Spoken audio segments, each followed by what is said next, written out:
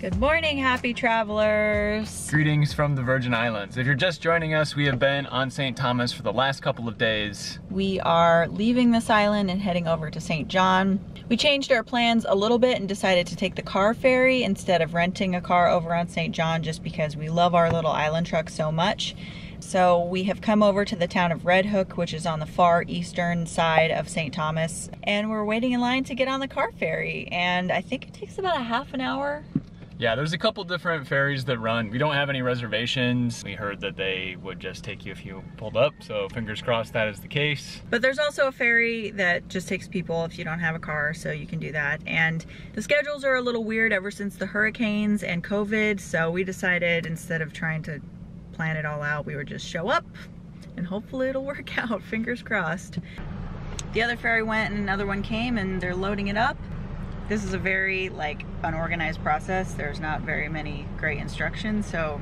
Yeah, I think that this one's all full and we're gonna have to wait for the next one to come. Yes, we have to reverse onto the ferry, which is fun. We had to pay a $4 port fee to get to this point and then we pay our ferry fee, I guess, once we get on the boat. Round trip, $50 and one way, I wanna say it's $35. And I'm not sure if you pay round trip, if you have to go on that same ferry company there's not a lot of information about this, so we're just kind of winging it at this point.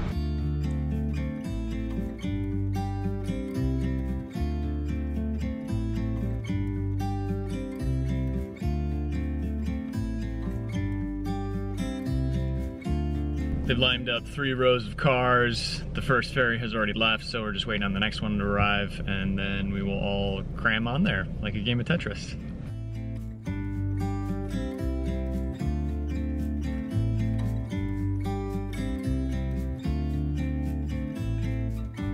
They're directing us onto the ferry right now. Luckily we were the first car to get on after this big semi-truck, so we're basically just backing straight up. Wow.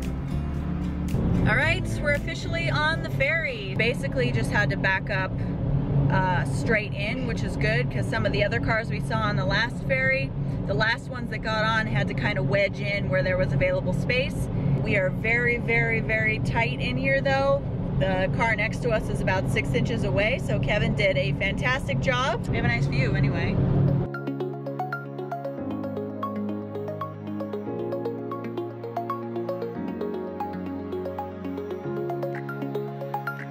We have pushed back and we are on our way to St. John. All in all, I think it was about two hours from when we arrived till when we actually left. That included waiting in line, getting in position, waiting for the new barge to come, and then finally getting everything loaded and pushed back.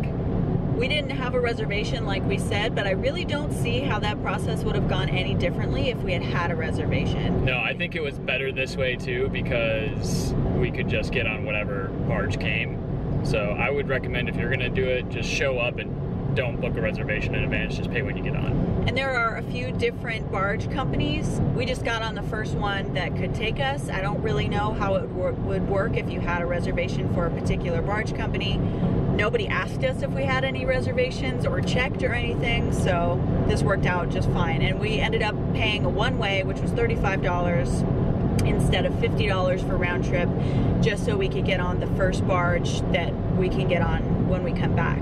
It's 20 or 30 minutes to get to St. John, so we'll see you there.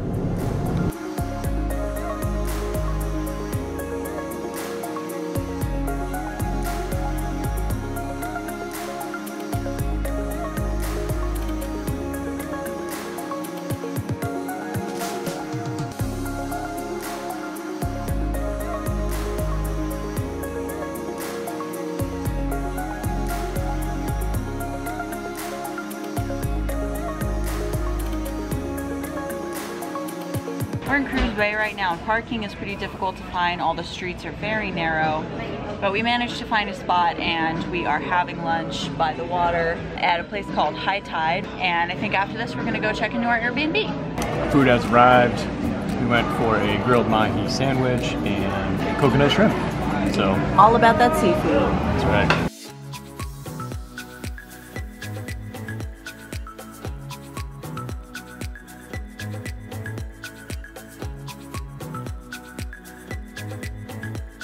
Well, that was tasty. This is a pretty cool spot. It's called High Tide in Cruz Bay if you're ever on St. Mm-hmm. John. And I think our next step is to go check into our Airbnb. We have an Airbnb on the island for four nights and I think we're gonna be doing some pretty epic beach hopping while we're here.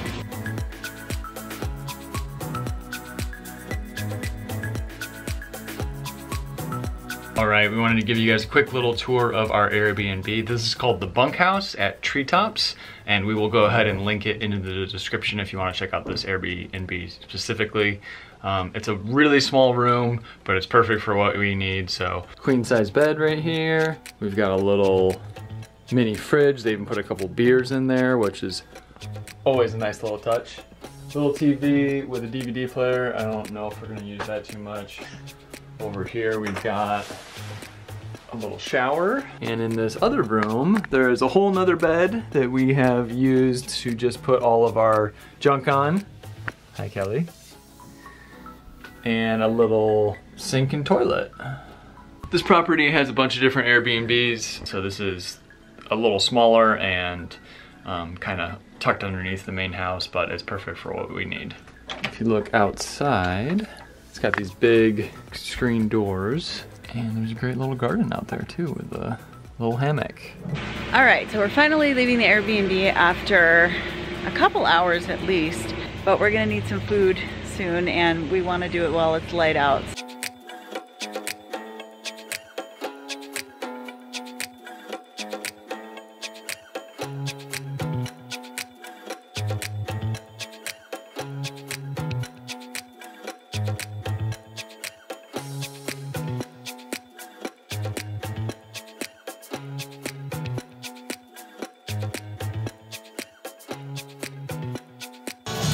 This place called The Beach Bar for their happy hour, which goes until 7.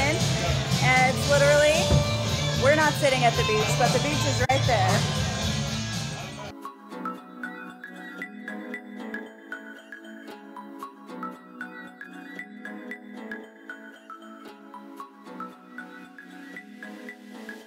Well, we kind of let the day get away from us today. It just was a little exhausting between trying to get the car ferry and then figuring out our Airbnb here in St. John. Tomorrow, we're gonna go check out some of the best beaches on St. John. There are a ton of them and maybe some sugar plantation ruins because there's a ton of those on this island as well. Hit that subscribe button so you don't miss that video and hit the thumbs up to let us know you like this one. And we will see you tomorrow. This is Kelly from the Awkward Tourists. Peace out.